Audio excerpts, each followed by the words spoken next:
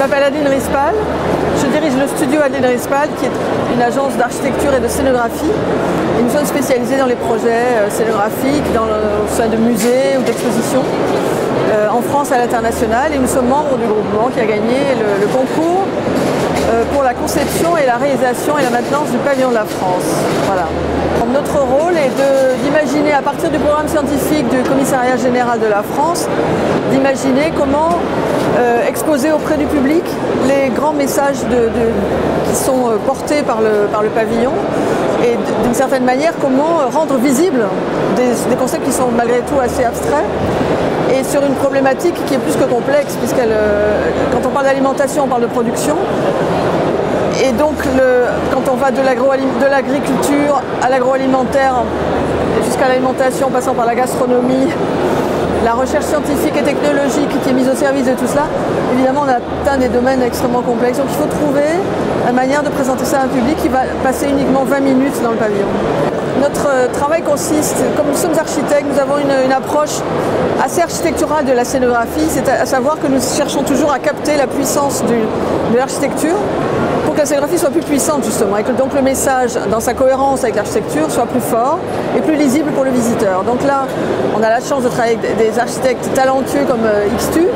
Anouk et Legendre et Nicolas Desmazières. Et nous avons proposé dès le départ en fait qu'on soit dans une sorte, un espace un peu comme ici, c'est-à-dire une voûte euh, très euh, qui évidemment qui permet de parler de la globalité de cette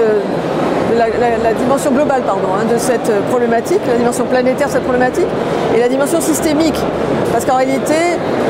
un consommateur peut agir sur le système alimentation, production, consommation, autant qu'un agriculteur et, les gouvernements doivent agir aussi dessus. Et chacun à notre niveau, on peut agir dessus. On va aussi parler par exemple de la, du gaspillage. On sait que le gaspillage, il se joue, la question du gaspillage se joue depuis la production jusqu'à la consommation. Donc vous voyez, on a affaire à des sujets qui traversent absolument toutes les strates de la population. Donc il faut engager le visiteur. Donc finalement montrer, euh, travailler sur une scénographie très holistique, comme ça, qui une sorte de grande voûte, complètement par des produits et des végétaux et des, et des technologies, euh, va permettre aux visiteurs de se prendre conscience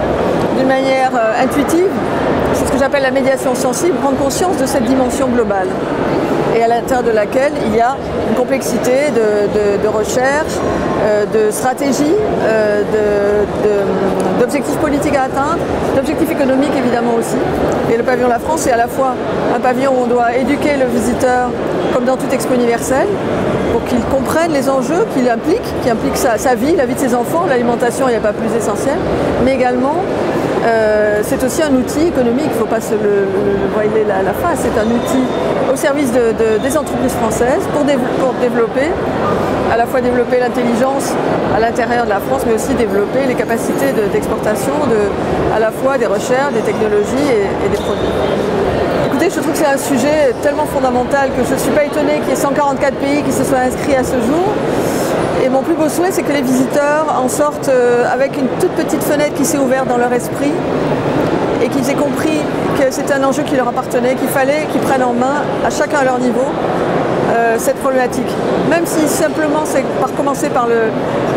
éviter de gaspiller, ça sera déjà énorme. Donc chaque, chaque euh, je dirais chaque petite étincelle qu'on va allumer dans le cerveau du public est bonne. Et aussi que la France, évidemment, est, est là une vitrine pour, euh,